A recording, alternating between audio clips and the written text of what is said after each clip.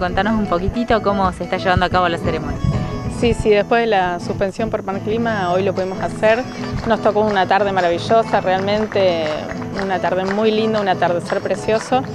Eh, en este momento estamos entregando las, distinciones, recién lo hicimos a los chicos de las escuelas, tanto niveles primarios, secundarios, eh, el CEPA, el EMPA, todos presentaron, cosa que estuvo re lindo.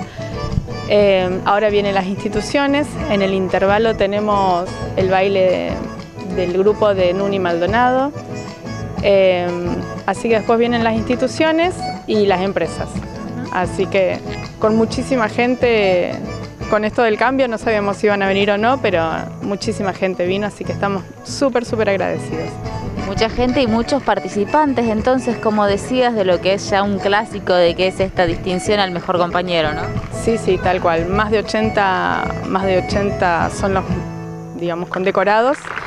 Eh, así que muy, muy contentos porque cada vez se aprenden más, más empresas, más instituciones, todos eligen su, su compañero, sus pares los eligen, así que eso está muy bueno.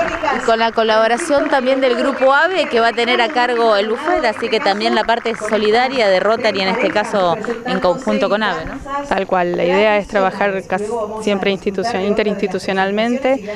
AVE lo tenemos preparando el buffet, nos prestaron las sillas, nos ayudan a armar, así que nada, un placer siempre trabajar con ellos codo a codo, digamos.